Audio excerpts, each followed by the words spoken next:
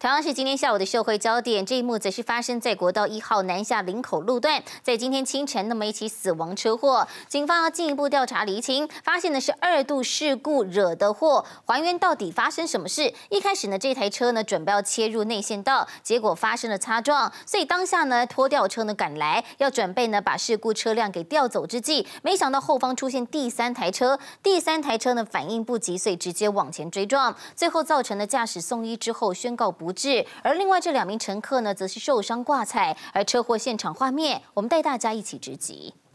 大批消防队员在国道上把一辆黑色轿车团团包围，试图救出里头的驾驶，情况好紧急。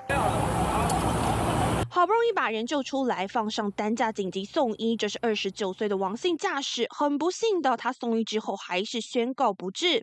但这起车祸怎么发生？奇怪，砰一声。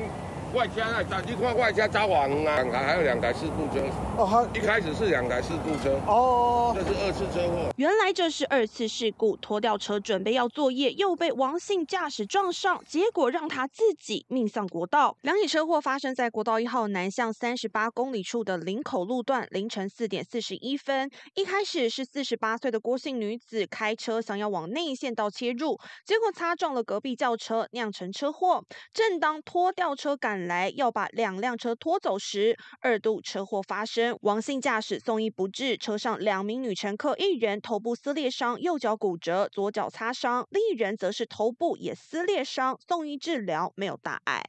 国道上发生追撞，一度造成现场大回堵，直到清晨六点零八分才排除事故。而这回第一起车祸的两名驾驶酒测值都是零。至于二次车祸的王姓驾驶为何会追撞拖吊车，原因还要厘清，他的酒测值也有待相验结果出炉才能揭晓。记者吴贤吴上线，新北市报道。